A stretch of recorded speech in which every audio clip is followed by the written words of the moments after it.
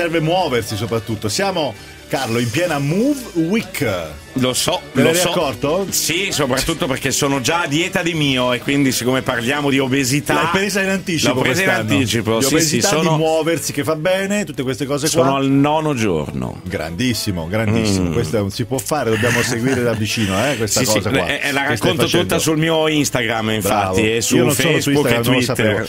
Allora, invece parliamo della Move Week con Vincenzo Manco, presidente dell'UISP, niente po' di meno che. Benvenuto.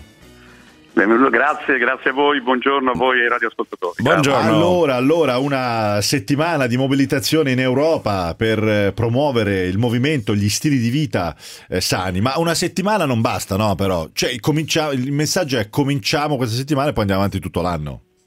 Possibilmente. Sì, perché purtroppo oggi, almeno per quanto riguarda i dati Istat che ci Sì. vengono consegnati sulla pratica sportiva nel nostro paese, noi siamo ancora diciamo, maglia nera per quanto riguarda la sedentarietà, l'inattività e le forme di obesità in tutte le età, tra l'altro, non soltanto. Quindi, Perché ricordiamoci, settimana. ricordiamoci che l'obesità si combatte non solo mangiando meno, ma muovendosi anche di più. Soprattutto voglia muovendosi. dieta, però eh, se non ti muovi un po', eh, E poi se ti muovi puoi muovendo. mangiare di più, e questa è la vera cosa. eh.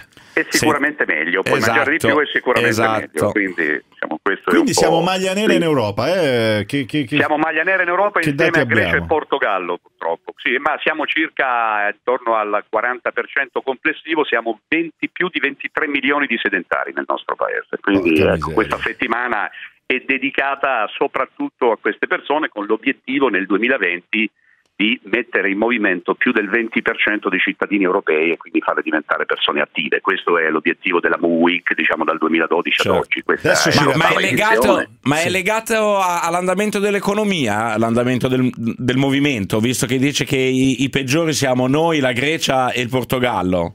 Che- Ci sono, ci sono più fattori, c'è un dato anche culturale perché spesso e volentieri quando si parla di sport, di movimento, di attività motoria si intende soprattutto la pratica delle discipline, non la cultura del movimento in sé, ma sicuramente il dato economico è quello che particolarmente incide. Nelle- nel nostro caso spesso e volentieri intervenire su un dato macroeconomico vuol dire eh, far scegliere alle famiglie di non far praticare sport ai propri figli o anche per se stessi, ai Mm. genitori o anche se si tratta in questo caso di nonni o di persone eh, della terza età o della quarta età come si Sì. dice oggi. È un fa- il fattore economico sicuramente Eh, incide. una volta si diceva solo. poveri ma, Eh. ma felici, poveri ma belli, invece eh, poveri ma obesi. Allora, ehm, a proposito di famiglia, eh, Manco, mh, c'è un dato, no? Il 38% dei bambini tra i 6 e i 10 anni in Italia è sovrappeso, se non addirittura obeso. E pare che una delle questioni sia che i genitori, le mamme in particolare, non riconoscano questa cosa, cioè non siano in grado di accorgersi quando il figlio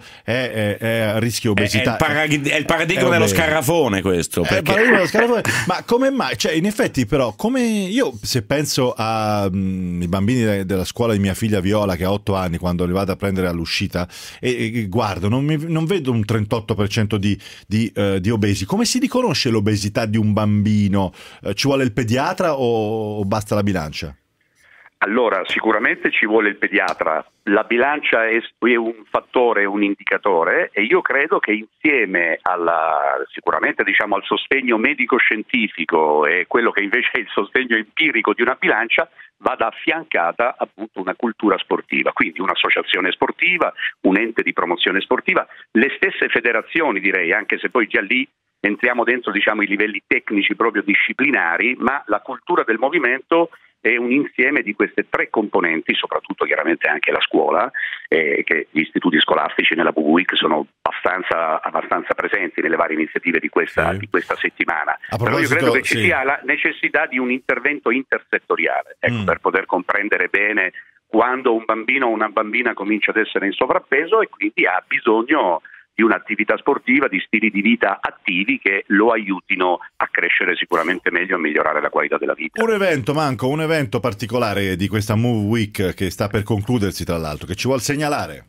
Allora, noi abbiamo questo- in questo fine settimana un cammina e corri a Brescia insieme a un bike a Cividale del Friuli, domani invece domenica una corsa tra i boschi a Rieti e Bicicittà Bello. 2019 a Caserta. Quindi, La insomma, corsa nei abbiamo- boschi a Rieti mi sembra molto affascinante. Grazie Manco.